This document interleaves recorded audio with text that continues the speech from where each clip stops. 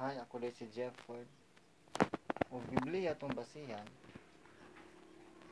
Matod pa ni Kristo. Nang gingharian sa langit, husgahan ka, dili pinaagi sa imong itsura, dili pinaagi sa imong panlabas nanyo, kundi, kundili, husgahan ka, pinaagi sa imong binuhatan. Tanawon sa Ginoo ang sulod sa imong kasing-kasing. Ug na-prove ni sa Biblia, for example, kay Lucifer. Kay si Lucifer, pagbuhat sa Ginoo kay Lucifer, anghel si Lucifer pagbuhat sa Ginoo. Pero ang hitabo kay si Lucifer, dotan magbinuhatan, gusto man siya mulabaw sa Ginoo.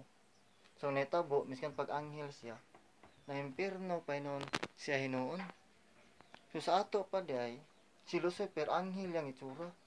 Pero tungod kay ang binuhatan, demonyo man, impierno siya. So sa ato pa, kung ato din baliktaron, kung demonyo din mong itsura, kunya imong binuhatan sa anghel, pwede din ka malangit. So sa ato pa, kini day mga tao nga susama day ni Kibuloy, mga susama po day ni ni Lucifer na mga klaseng tao, kay nunaon nimo mura sila anghel. Kay pastor nagserbisyo sa simbahan nagawali sa pangalan ni Kristo pero ang tinuod di ay demonyo day sila. Kay ngano man tungod kay tanawon nimo si Kristo nagtukod og simbahan Roman Katolik nanay simbahan nga gitukod ni Kristo. Roman Katolik niya karon ang gibuhat ni Kibuloy imbis mo serbisyo siya dito sa simbahan nga gitukod ni Kristo nagtukod man si Kibuloy simbahan niya hinuon niya dito siya nagserbisyo.